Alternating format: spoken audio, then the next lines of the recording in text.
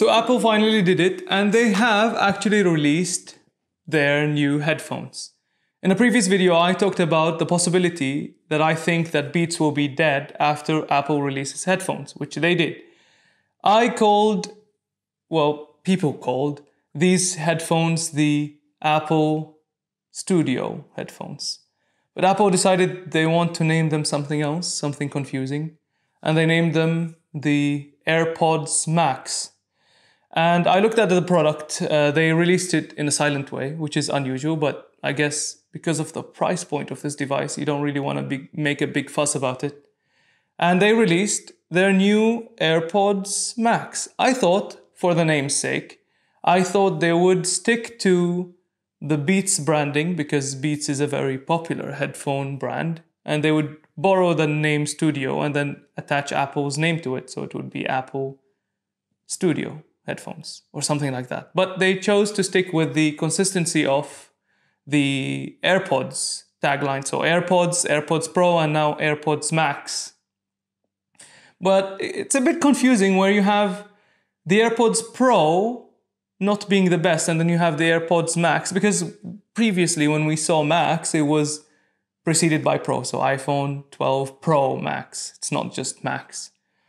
And uh, it's really interesting that they int- introduced this product, but the weird thing is its price. It's priced at $550.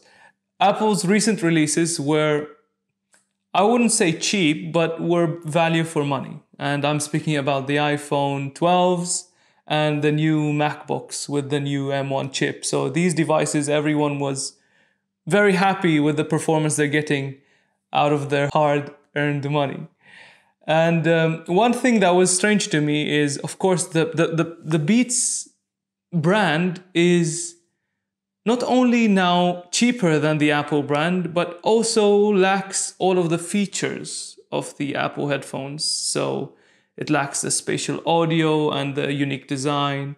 Well, the design, we'll come back to it, but you know, Beats, what's the point of Beats? I thought it was gonna be the more budget friendly Apple you know, audio market, or maybe they die, I'm not sure.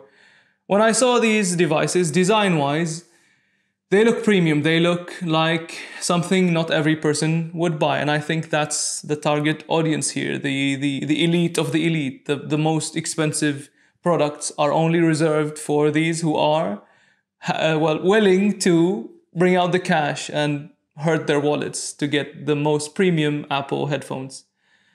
But according to early reviews, some people got their hands on these headphones and some people already shared their opinion. They say they're good, but they're not worth the price.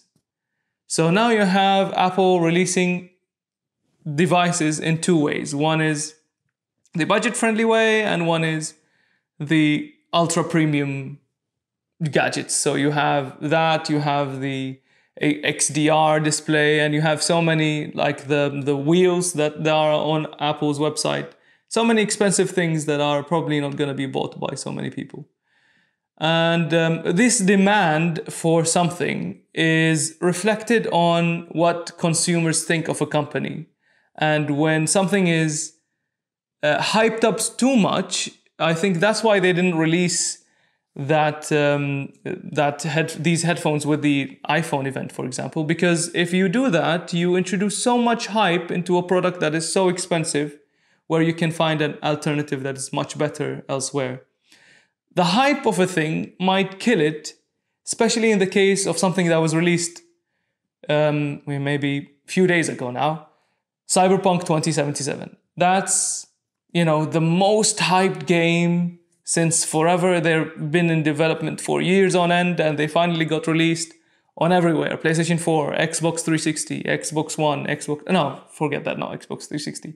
PlayStation 4, PlayStation 5, the previous Xbox, Xbox One, Xbox One X, Xbox Series S, Xbox Series X. And even you can play them on a browser on Stadia. But because this game had so much hype, everyone now is criticizing the performance and the bugs and the issues.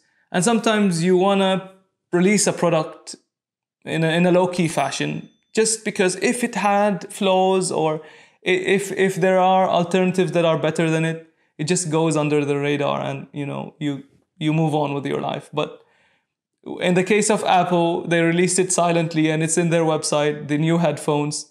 $550. I don't think anyone in his right mind would pay $550 for, you know, value for money. If you're paying $550, you're definitely paying that Apple tax to be one of the top of the top. Basically, you just have the most expensive audio accessory from Apple.